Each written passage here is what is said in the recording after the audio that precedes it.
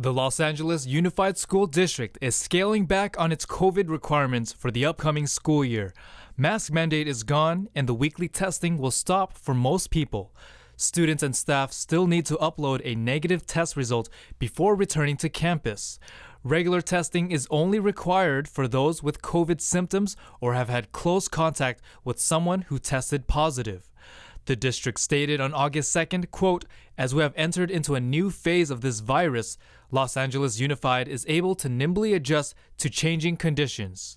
While some worry about a transmission surge, those who believe that masks hindered students' ability to learn and socialize welcomed the change.